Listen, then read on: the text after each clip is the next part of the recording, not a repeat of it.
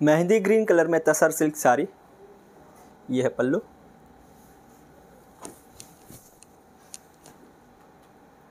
उसके साथ साथ ब्यूटीफुल टेसल वर्क भी है।